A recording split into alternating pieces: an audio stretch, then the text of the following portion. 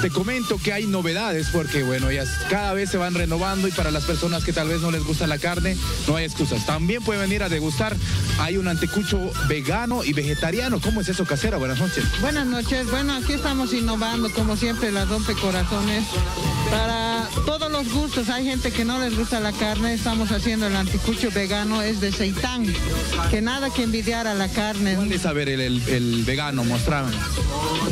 El vegano es este, es seitán, se hace de carne de gluten y se prepara. Nosotros lo elaboramos en casa y ya lo traemos acá para rallar, para prepararlo. Para... ¿El vegetariano cuál sería? El vegetariano es la carne de soya, la- es la soya. Viene, Viene con su choco. con choclo, viene con cebollín, con cebolla blanca, viene con, la, con las carnes de soya y su pimiento.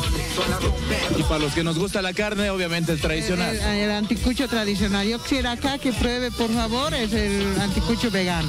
A ver, vamos a probar. ¿Qué les parece, chicos? Allá en el estudio, no sé, ¿qué se les antoja? ¿Un vegetariano, un A ver, vegano o el una- normal? ¿Qué dicen? A mí un anticucho de vaca enamorada, papito.